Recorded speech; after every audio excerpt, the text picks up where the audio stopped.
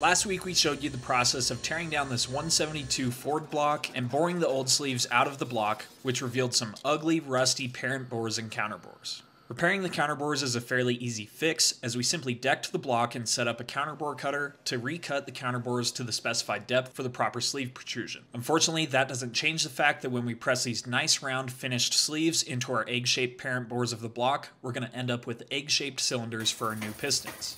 The preferred fix would be boring the block for oversized OD sleeves, but sometimes the budget doesn't allow for that. So we're pressing the sleeves in as it sits, and the customer was able to provide us with a set of 20 thousandths oversized pistons to allow us to bore and hone the sleeves after the fact, allowing us to get a set of nice, straight and round cylinders for the piston rings to seal against. Check out the full vid on our YouTube now.